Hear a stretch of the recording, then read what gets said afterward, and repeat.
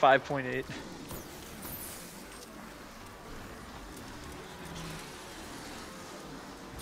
Look at this! I'm getting my opponents from killing him.